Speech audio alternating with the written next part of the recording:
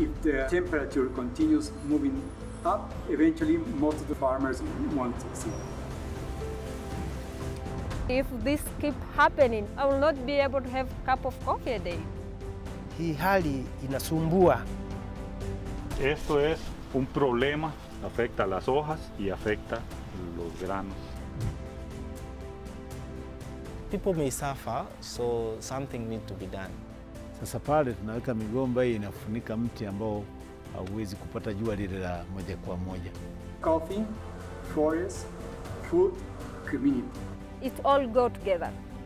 Agriculture should follow the rules of the natural context. Santa Anita is the first carbon neutral farm in the world. We are empowering women to deal with climate change.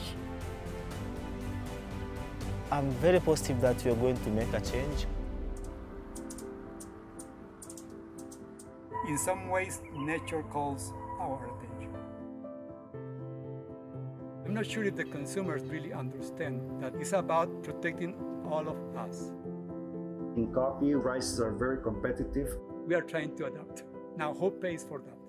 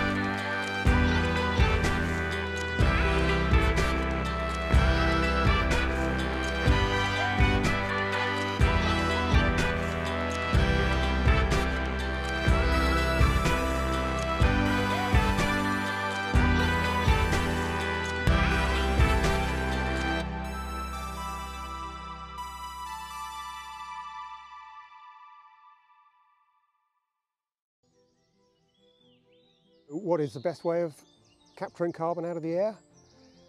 In fact, it's the only way, storing it in plants and in soil.